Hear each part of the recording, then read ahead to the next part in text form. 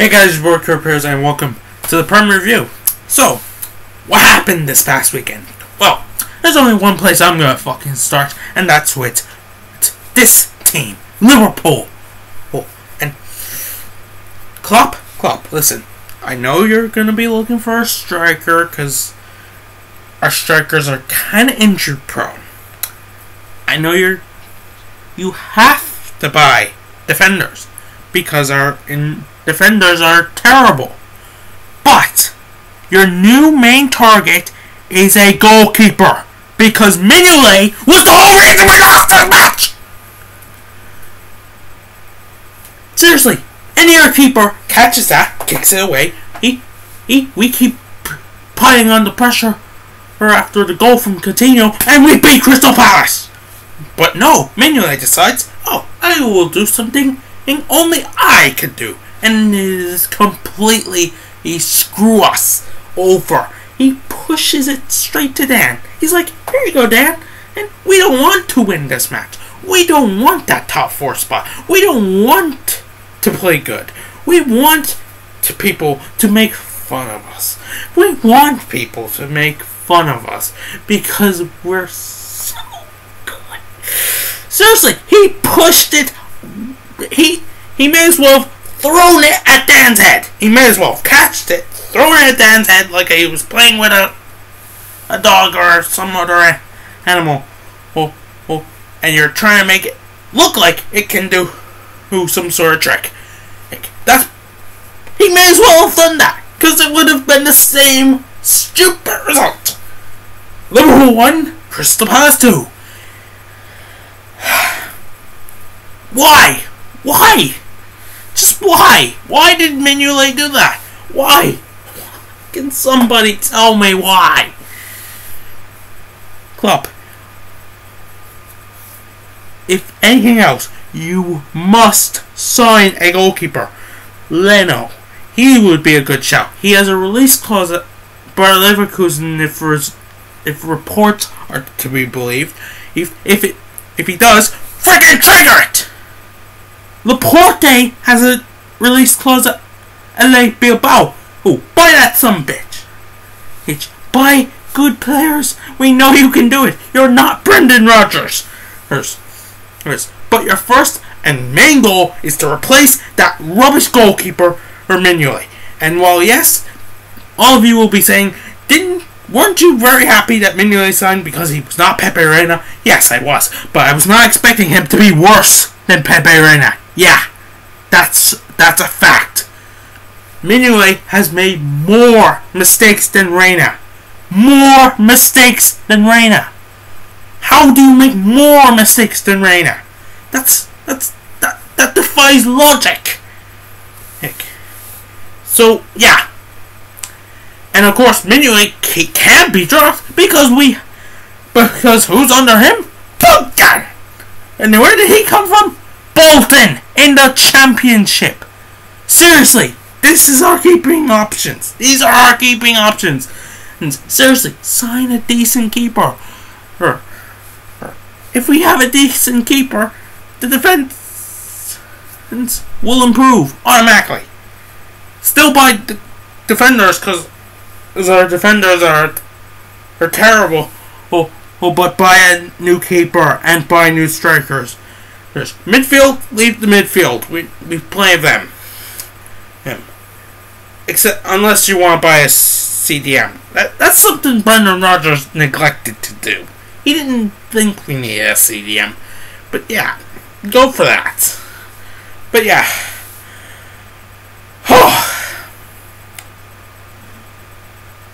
the only solace is that at the weekend, almost every other big team was rubbish. Man City drew nil-nil with Aston Villa. I really liked what Villa fans was holding up inflated snakes towards that dumb cunt Delph. Well, Sterling, you better wait and see what we hold up to you when you show up next weekend. And, and, oh wait, see your home. Still, the away fans will hold up something, and, and it won't be flattering. And expect to get a lot of boos, Sterling a lot of them. But I'll, I'll, we'll get to that when we play City. after the international break. But yeah, see, nil nil Villa. Ha. Then we go to Arsenal, who had the best chance to go top of the table. And if Arsenal had gone top of the table, oh, oh, oh, all they would have to do is keep winning, and they would win the title. But what ha- what happens? Kane buries it in the back of the net, and Ars, because Koscielny decided to play like a Liverpool defender for a game, he must have gotten confused with the red. It he must have been like, is this a Liverpool jersey? It it might be. I think it's the Liverpool jersey, which contractually obligates me to play terrible. Oh.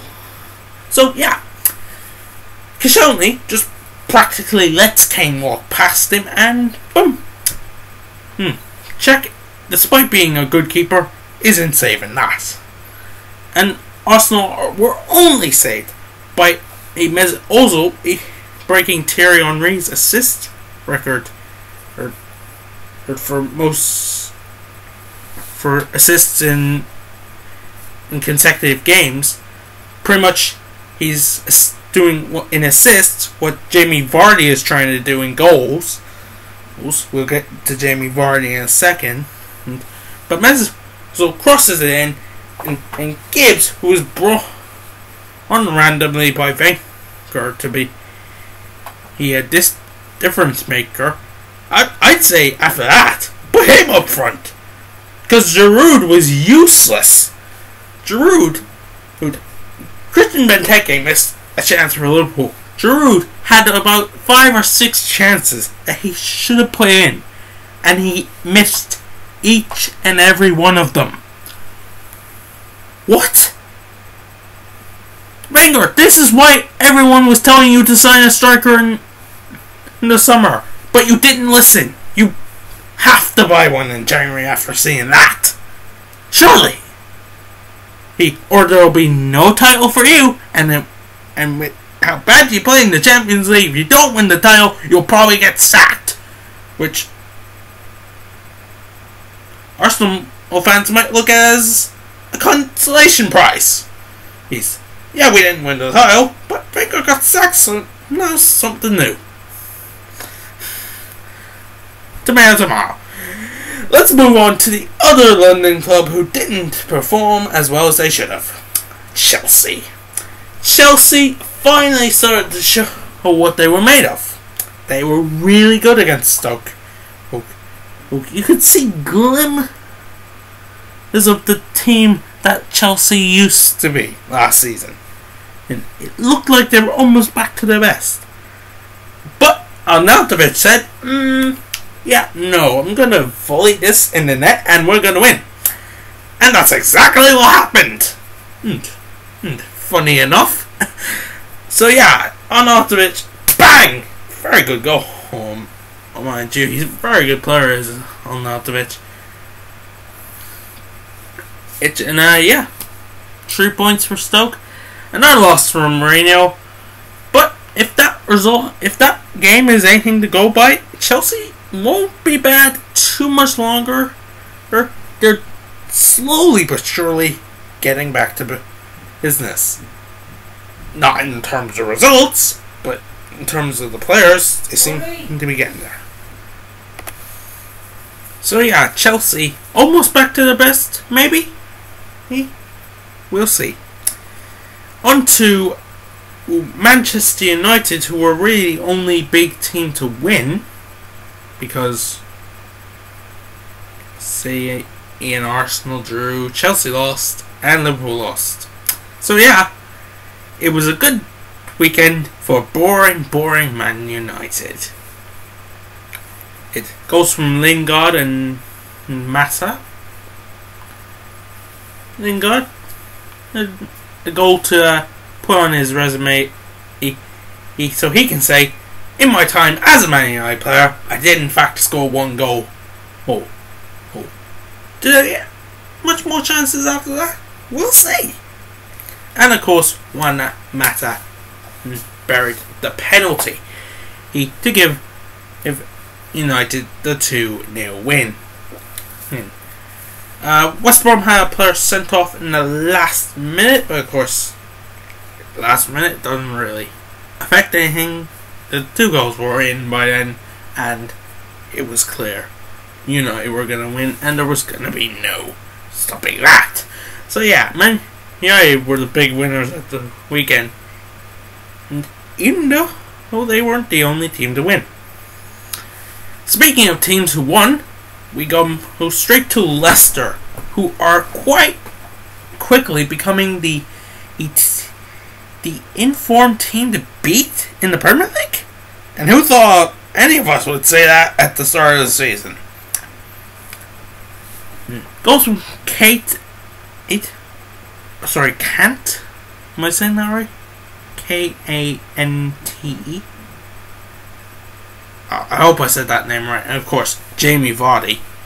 He, he. It's it's funny though because Vardy doesn't take Leicester's penalties. Mahrez gave him the penalty. Mahrez takes Leicester's penalties, but Mahrez obviously said hit himself. Hang on a second. I'm gonna be nice to my buddy Jamie Vardy. He's trying to break Ruud van Nistelrooy record. He has to score to do that. A penalty is a really good chance to score a goal. Oh, oh. So he gives Vardy the penalty. Vardy doesn't make any mistakes and he bears it. 2 0. Oh, Leicester think, job done. Uh, 10 minutes later, they concede their own penalty and Troy Deeney gets what turned out to be a consolation, but it was a goal nonetheless. Yes, and yeah, 2 1 Leicester. Can Leicester keep this up? No. Not all season, anyway. Can they keep it up long enough for Vardy and Mahrez to be eventually sold in the January transfer window? Yeah! Of course they can! Because you know that's what's going to happen. Vardy and Mahrez will be picked up by any he's he he hungry team with money. Hopefully not Liverpool, because while they're very good players, there's we made that mistake with someone like Vardy before, or in Rickie Lambert, and we he he really he would prefer her to not increase the strength of our midfield. Well, unless it's a CDM, we really don't need it another midfielder. Some people would argue we need a winger. Look, I'm not gonna get into that. I'll get into that in a whole different video. Oh, you know I'm doing a, tra- a transfer rumors video. Why wouldn't I? hello. Do you know what the most viewed video on my channel is? Hell yeah. Anyway, let's go to the battle of the two, ooh, ooh, of the three or four if you count Spurs. Uh, five if you count Stoke. Hmm. The two, two teams. Who you in? Uh, the two red and white teams. The two teams who wear in red and white stripes. Sunderland and Southampton. So Sunderland were are hanging on by a by a thread. Imagine I'm holding onto some shred of some sort. But Tadic came along, pair of scissors, snip, and they fell. that, that that that that is pretty much what happened, and and and. and, and Poor Sam Allardyce. He's, you could see he thought they were going to hold on, and then some each I, um, um, I, I forget who conceded the foul, but some each concedes a foul, and Tadic buries the penalty. I'm sorry, I'm laughing. It's just you can see his reaction. He's like, "No, why, why? We were so close." But yeah, Sunderland this weekend not so good considering they lost, and this allows me to quickly go to the black and white side of Newcastle to Newcastle because why not? They beat Bournemouth 1 0 after a goal from Ayoze Perez. This little cheeky bugger. Hmm.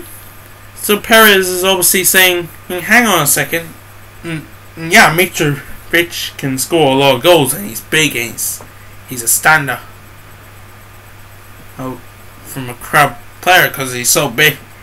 He, he, unless he's in a crowd with Ibrahim Hitrana, hold on, Peter Crouch. I also want to stand out, but I'm going to do that with football talent.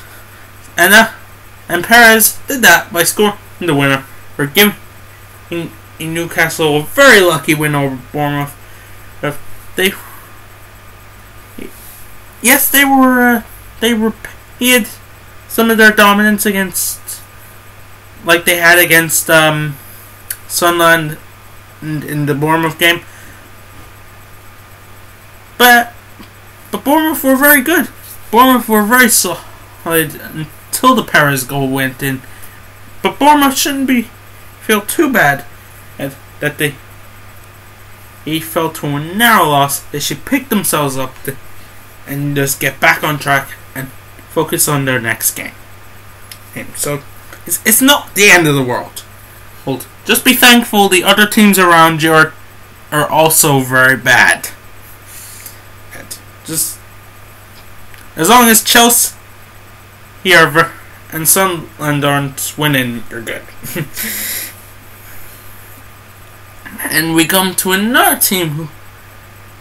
And since I mentioned Chelsea, I'm gonna go to a team who also apparently their manager is in trouble, and that is Gary Monk at Swansea. Everyone was praising Gary Monk over the last season and for how great he was doing at Swansea. He put a yeah, Swansea's results haven't been the best as of late, but apparently he might get sacked. If Gary Monk gets sacked before or Jose Mourinho, or there's something wrong with the Swansea board.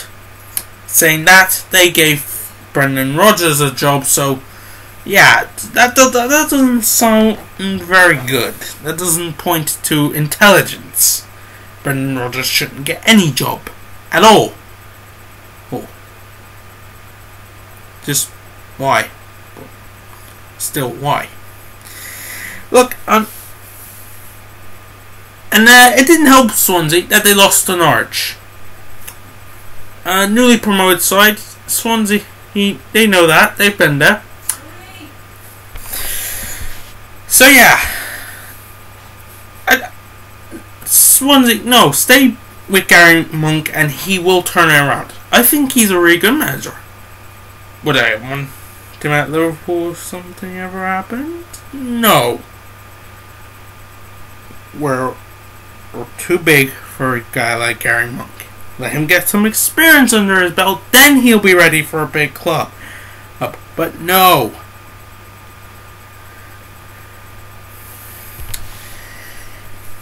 So yeah.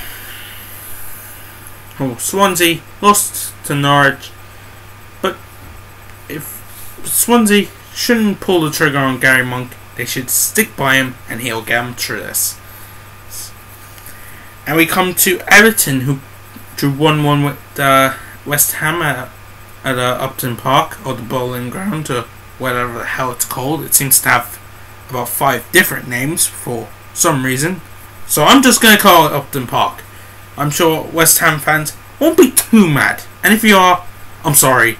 But I've called it Upton Park. And sure, next season you're moving anyway, so it doesn't really matter, does it? So I'm going to call it Upton Park from now on. And until you move, I won't call it your stadium anything else. Because it's, it's, it's the same place. But yeah, and see, he was a decent little player, or, or good player for West Ham. And in, in a nice cheeky goal, or assisted by big man Andy Carroll. But it, it West Ham were crushed by a big Belgian man, Mr. Romelu Lukaku. And yeah, three points flushed down the toilet. It could have been worse. You could have lost. At least this time you got a point. Unlike against Watford.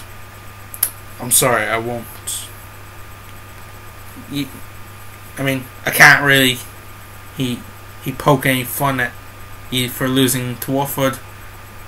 He beat us. So yeah, there's that. Um, is that everyone? Hang on a second. Yeah, that's yeah, that's that's all the uh, weekend games. Thankfully now there's an international break and we can all just relax. So that is what happened after the weekend. Um, few side notes. Um, David Moyes was sacked from Real Sociedad, so that was pretty hilarious. Wayne Rooney, he, you guys know I'm a big fan of WWE. Wayne Rooney went to the Manchester uh, Monday Night Raw this uh, last night, and he slapped Barrett. Are they actually gonna build this up? Are, is Wayne Rooney actually gonna step foot in a WWE ring? Because I'd actually pay to see that. If anything, just so Wayne gets a boom bull hammer to his dopey face. Maybe his hair will fly off. It would be hilarious. And uh, Patrick Vieira has become the new manager of New York City. He FC. So, yeah, it's pretty much all all that happened over the weekend and yesterday. So yeah. Oh, and uh, one side note, there was a positive that came out of the Liverpool game against Crystal Palace. Sakho got injured, so Job We'll actually be playing our good centre backs for a change, in, in Skrtel and, and Lovren. Oh yes, they didn't exactly play good for that second goal. That's beside the point. Sakho isn't exactly better. He wouldn't have made a much difference. He wouldn't stop that gun. It was all Minion. But yeah. So Rooney's getting into fights. He's Moyes sacked again. Hmm. Vieira's got his first official managerial job, unless you count managing C's reserves. Or was it they're under 21s? Either. I, I don't think anyone does. And uh, yeah. And all the uh, previously mentioned football results. So thanks for watching and hope you enjoyed and I'll see you all after the international break. Oh, I won't. For the next Premier Review, that is. I'll see you tomorrow for there'll be a video tomorrow, of course. Um, tomorrow's Wednesday, so Assassin's Creed Syndicate will be out tomorrow. And make sure and check out my put my Borussia Mönchengladbach career mode that's already up. He And make sure and check out oh, the designer of my new thumbnails. I haven't got the one for this yet, so you're still just gonna see probably me or Liverpool crest. Anyway, peace.